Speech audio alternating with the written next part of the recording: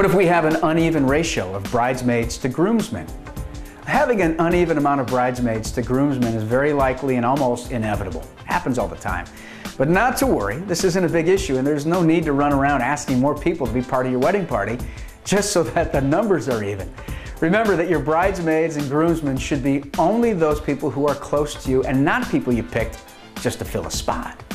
Oftentimes, couples can even walk down the aisle by having some bridesmaids or groomsmen walk with the couple's family members. You can also have a groomsman walk with two bridesmaids, one on either arm. Not bad. Or vice versa. That's living, folks.